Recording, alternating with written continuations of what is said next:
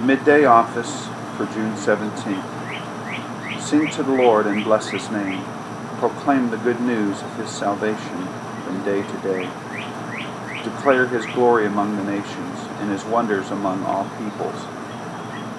Let my cry come before you, O Lord. Give me understanding according to your word. Let my supplication come before you. Deliver me according to your promise. Lord, you have been our refuge from one generation to another. Before the mountains were brought forth, or the land and the earth were born, from age to age you are God. Let me announce the decree of the Lord. He said to me, You are my son.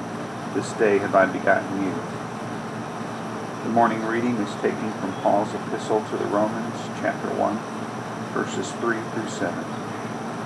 This is the gospel concerning his son, who, in human terms, was born a descendant of David, and who, in terms of the Spirit and of holiness, was designated Son of God in power by resurrection from the dead, Jesus Christ our Lord, through whom we have received grace in our apostolic mission of winning obedience of faith among all the nations for the honor of his name. You are among these, and by his call you belong to Jesus Christ to you all grace and peace from God our Father and the Lord Jesus Christ. Let me announce the decree of the Lord. He said to me, You are my son. This day have I begotten you.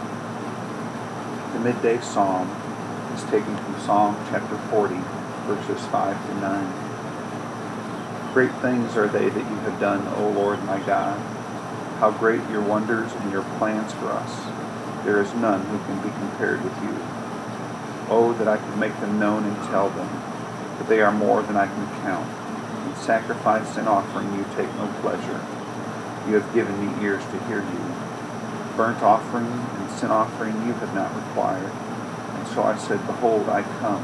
In the volume of the book it is written concerning me.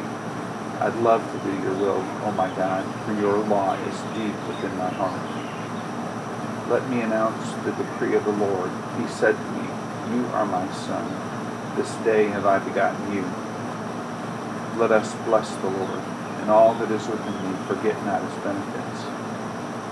Our Father, who art in heaven, hallowed be thy name. Thy kingdom come, thy will be done, on earth as it is in heaven.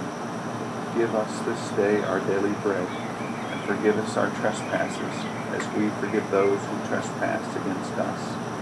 And lead us not into temptation, but deliver us from evil. For thine is the kingdom, and the power, and the glory, forever and ever. Amen. Lord, make me have perpetual love and reverence for your holy name, for you never fail to help and govern those whom you have set upon the sure foundation of your loving kindness.